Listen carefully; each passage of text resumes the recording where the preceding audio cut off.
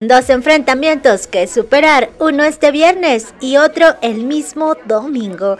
Los equipos no pueden confiarse en sus victorias de la semana, ya que al final del día este punto es el que más importa cuando se trata de pasar a la siguiente etapa de competencia. Exatlán México pone a prueba a todos los atletas en temporada. Nuevos circuitos, grandes lecciones a lo largo de esta temporada. Transforman por completo a leyendas, por lo que es fundamental que se concentren en lo que realmente importa.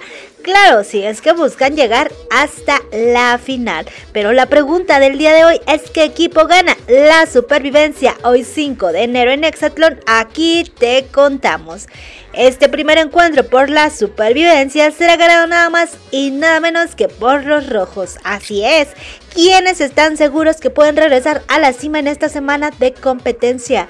Lamentablemente las filtraciones no las ponen en el mejor sitio para la edición, ya que aunque sus estrategias son buenas, en realidad tienen que enfrentar varios errores esta semanita.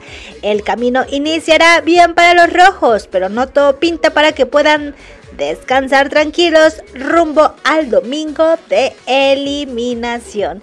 ¿Tú qué opinas? ¿Será verdad? ¿Será mentira lo que nos dicen los spoilers? Hasta aquí la nota.